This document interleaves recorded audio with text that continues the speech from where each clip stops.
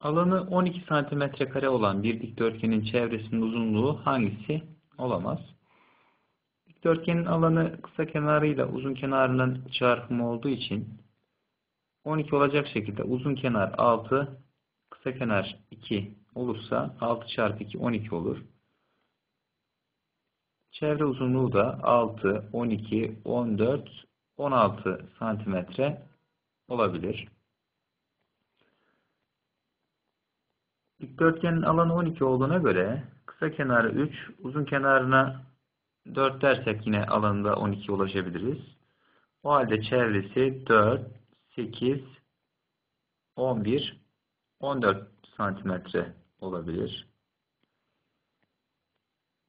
Kenarlarına 12 ve 1 verdiğimizde yine alan 12 olacaktır.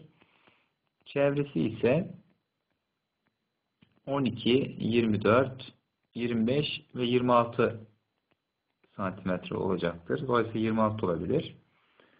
D seçeneğindeki 18 olamayacağından aradığımız cevap